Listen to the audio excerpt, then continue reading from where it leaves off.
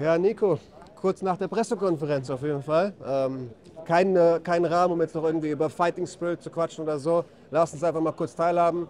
Wie fühlst du dich? Und ähm, ja, wie hast du die Pressekonferenz erlebt? Ich habe dir eben schon gesagt, außerhalb von der Aufnahme, ich habe dich ein bisschen out of character wahrgenommen, von wegen, we will see who will, who will beat who. Ähm, wie hast du es erlebt? Also ich bin erstmal riesig hyped, eine riesige Pressekonferenz, ähm, geile Stimmung, viele Leute, ich freue mich extrem auf morgen. Pressekonferenz war auch äh, nice, ähm, aber wie du schon gesagt hast, out of character würde ich das überhaupt nicht nennen, aber mein Gegner hat kein Gericht gemacht, hat angefangen irgendwie ein bisschen äh, Shit zu labern, dann habe ich halt gesagt so, ey, du sagst, du schlägst mich kaputt, dann sehen wir mal, wer den anderen morgen kaputt schlägt. Und äh, Hey, so genau mit dem Mindset gehe ich auch in den Kampf rein. Äh, auf jeden Fall One Love, das ist das, was ich repräsente. Respekt, Disziplin, aber beidseitiger Respekt, ganz wichtig. Fair. War das deine erste Pressekonferenz mit der Größe?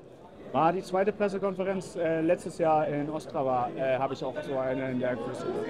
Okay, dann lass uns vielleicht in letzte Emotionen irgendwie einblicken, was so die generell natürlich die Antizipation vom Stadion, vom Fight angeht. Ich meine, 60.000 Leute, darauf kannst du dich nicht vorbereiten. Das hat noch niemand erlebt in Deutschland.